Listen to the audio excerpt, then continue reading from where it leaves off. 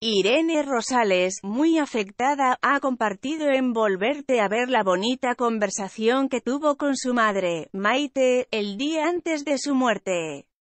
Irene Rosales fue entrevistada por Carlos Sobera en Volverte a ver poco después de fallecer su madre, una emotiva entrevista que este sábado ha emitido Telecinco y que nos ha sobrecogido. La mujer de Kiko Rivera ha desvelado la bonita conversación que tuvo con su madre, Maite, el día antes de su muerte y, con lágrimas en los ojos, ha asegurado que ella se marchó feliz y tranquila. El día antes de irse estuvo muy bien.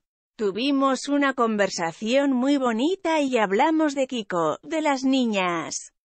El día de marcharse ella no estaba consciente pero se fue conmigo.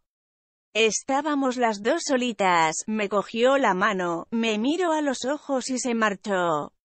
Lo hizo feliz y tranquila por lo que ha dejado, ha explicado Irene Rosales llorando a Carlos Sobera.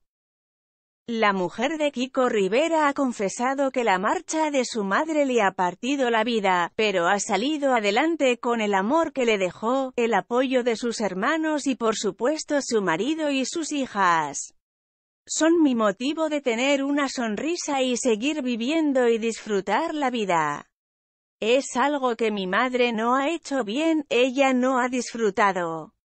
Todos tenemos problemas pero pido a todo el mundo que en la medida de lo posible disfruten porque la vida es una y no sabemos el tiempo que vamos a estar aquí, ha dicho mirando a cámara. Irene Rosales, que ha sido sorprendida en el programa por sus hermanos, se ha emocionado muchísimo al ver imágenes de su madre.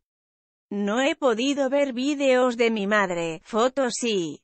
Yo soy muy casera y muy familiar con 16 años me podía, más que salir con mis amigas, estar con mi madre y mi familia.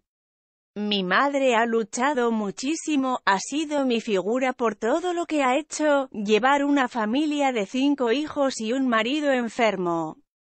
Me ha enseñado a ser independiente que luche por mis cosas, ha contado muy emocionada. Poco después de esta bonita entrevista también falleció su padre, otro fuerte mazazo para la nueva